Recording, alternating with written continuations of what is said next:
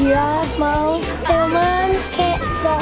This course is fun and interesting. I think it's fun and we can learn new things and if we, we need to do some fundraising, we can use this balloon for selling. You heard of salmon? So you must learn from the salmon. Salmon, they swim against the flow. A lot of children, uh, what their friends do, uh, they just follow.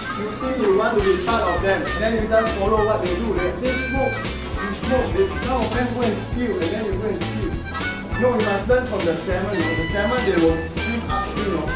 you don't join with the flow.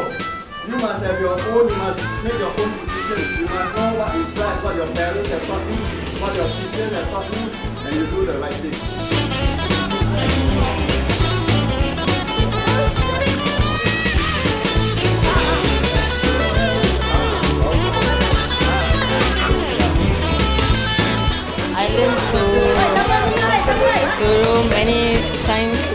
Of shape and animals using the balloon.